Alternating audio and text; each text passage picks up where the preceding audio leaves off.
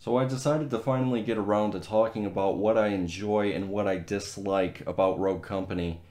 It's a game I was pretty skeptical about because, other than Battlefront and GTA, I've never been much of a fan of third person shooters. I started playing the game last month, not expecting much for that reason, and I think it's a decent game now to pass the time. I'm still 50 50 on it though. With that being said, I'm going to try and list six or seven pros and cons about this game for the purpose of this video and for anybody that has not yet played this game by the way. I think that would be beneficial to have people know what they are getting into first and I really wish somebody would have done a video like this for me to watch before I started playing the game. So that's why I decided to structure this video this way. But we're going to jump into it.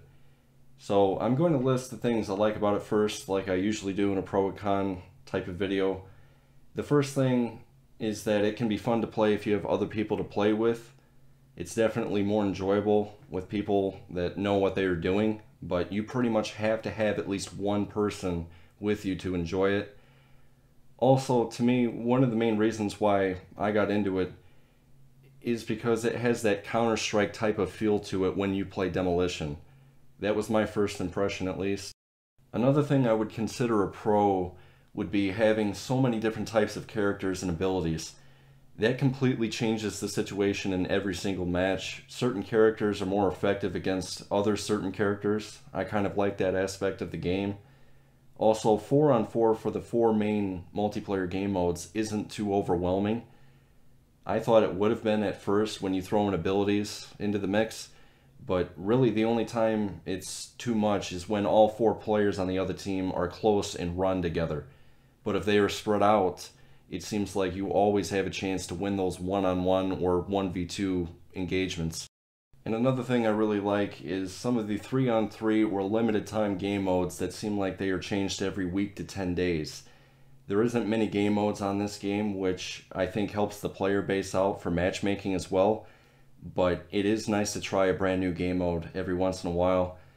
And the 6 Pro that I have listed here is the base version of the game is of course free to play. So that's one less game that you have to pay for, which is always great. And my last pro is that I love the submachine guns on here. Almost all of them are extremely fun to use. So I'm going to start listing some of the cons now. I'm not going to go into everything or go into full detail with all of these. I'm going to save some of that for future videos, but for now, here's some of the things that I've noticed.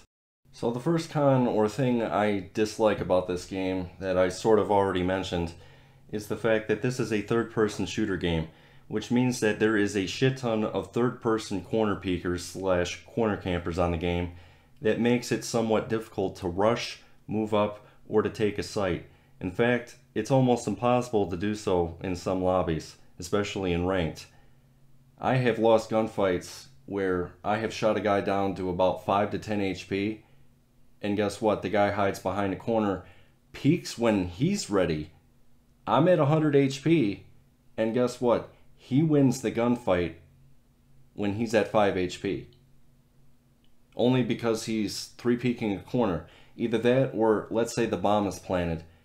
People will seriously use third person view to watch and run from somebody in a gunfight. I personally can't stand it when somebody is running and hiding from me during a gunfight. And he uses third person view to keep running from me until his HP either goes up or until the bomb goes off. That's just not fun to me. Also, melee weapons that are thrown are way too overpowered.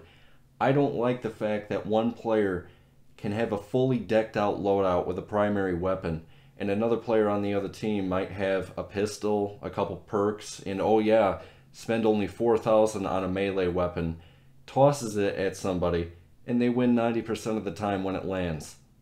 And that's without upgrades on it. Also, because of third person view, guess what? There's a lot of people that 3 peek with nothing but a melee weapon out, which is just stupid if you ask me. And when it comes to the scoring system, I don't think it's entirely working out. A character like Kestrel, for example, I call her Pretzel, just for the hell of it, only ends up at the top of the leaderboard or the scoreboard because of her passive ability getting her an extra thousand dollars per down that she gets. And unfortunately, the money is the main category on the scoreboard.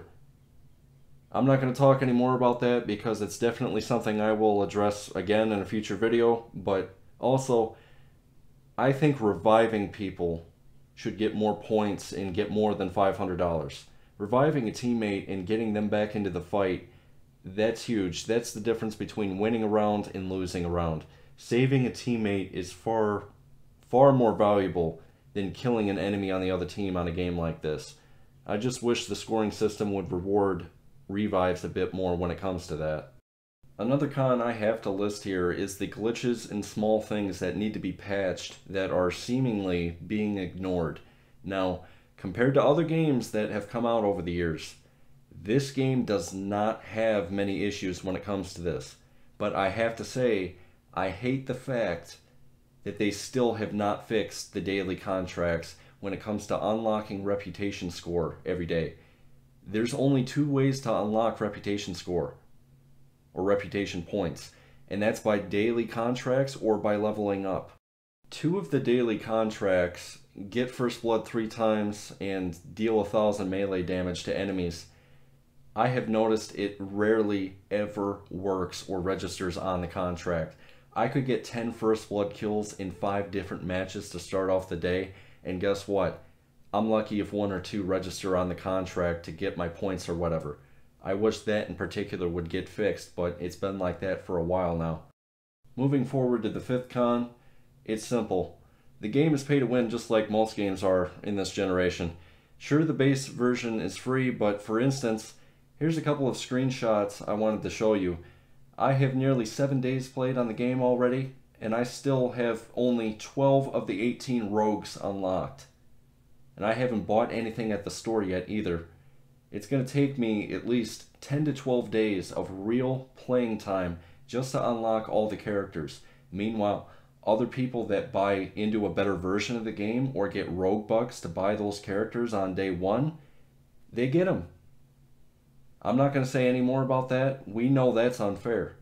And finally, to the sixth and seventh cons that I will wrap up this video with are the cheaters because of the crossplay with PC, who specifically use Phantom and Fixer and cheat with them, and also the amount of AFK people or people that leave mid-game. I've never seen a game have so many people go AFK in my life. This shit completely ruins the game in my opinion, and it's by far the biggest problem and will continue to be so in the future if something drastic is not done. With all that being said, those are my general pros and cons of Rogue Company. That's what I like and dislike about the game. Feel free to leave a rating and a comment on the video and subscribe if you haven't already. And I'll catch you guys later. Thanks for watching.